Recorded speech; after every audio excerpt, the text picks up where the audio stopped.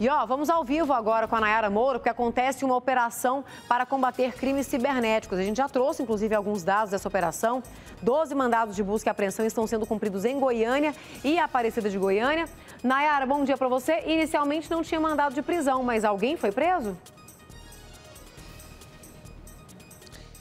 Oi, Manu, bom dia para você, bom dia a todos que nos acompanham. Não, Manu, inicialmente não tem esse mandado de prisão, ninguém foi preso. É a segunda fase da operação Fake Over. Ela é deflagrada em parceria com a polícia também do estado do Amazonas, porque as empresas são aqui de Goiás, mas a, a maioria das vítimas é do estado de, do Amazonas. Eu vou conversar agora com o delegado Eduardo Gomes, que é aqui da DEI, que está à frente dessas investigações. Ele vai explicar melhor para a gente essa fase da operação é, Fake Over, que é para combater as fake news, né? Essa é a segunda fase, essa fase é a fase de busca e apreensão nessa empresa que funcionava, que comprava esses perfis falsos. Bom dia.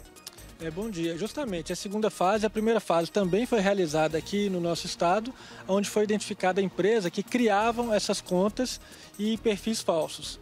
Num segundo momento, agora fazendo a, a segunda fase, foi identificado para quem eram as empresas, e aí uma segunda empresa, que compravam essas contas e as revendiam, e aí já em âmbito nacional, sendo identificado que as vítimas, a princípio, a maioria do estado do Amazonas. Pois é, para a gente entender como que funciona esse crime, essas pessoas, essa empresa vendia, essa empresa aqui do, do nosso estado, vendia para pessoas que compravam para usar, para difamar outras pessoas. Ou seja, por exemplo, uma pessoa física compra esse perfil e vai usando para difamar, para caluniar. É assim que funciona? É, exatamente. As investigações agora estão justamente tentando identificar se as empresas localizadas aqui em Goiânia, Aparecida de Goiânia, ela tem alguma participação na atitude ilícita que, das pessoas que usavam essas contas. Mas, a princípio, é um escritório que vende como venderia para qualquer influência né, que a gente vê muito essas contas aí, que é para divulgação de produtos e outras coisas. Porém, nesse caso específico, lá no estado do Amazonas está sendo utilizado para difamar e caluniar pessoas é, de autoridades daquele estado.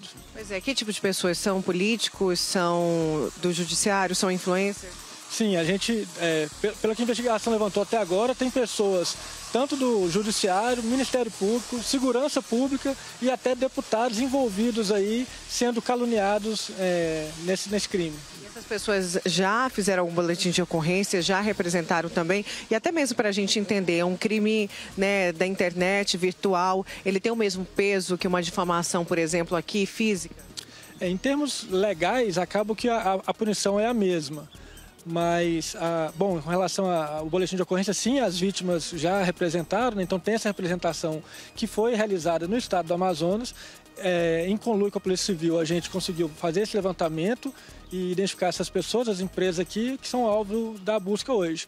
A, a, a, pena, sim, é a mesma, é, sendo pessoalmente, só que hoje o que a gente percebe é que ela vem sendo muito utilizada através das redes sociais.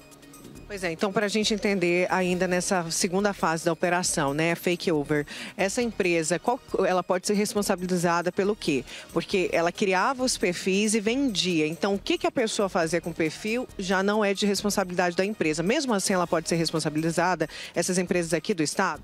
Então, aí é, a investigação é que vai dizer agora qual a responsabilidade dessas empresas. Se elas tinham a intenção, elas sabiam que essas contas seriam utilizadas para cometer crime, e aí sim elas respondem pelo próprio crime.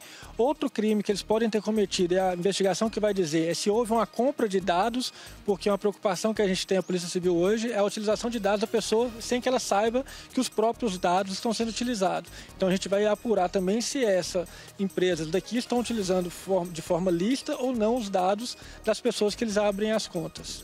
Sem querer atrapalhar a investigação, mas pode acontecer ainda algum mandado de prisão?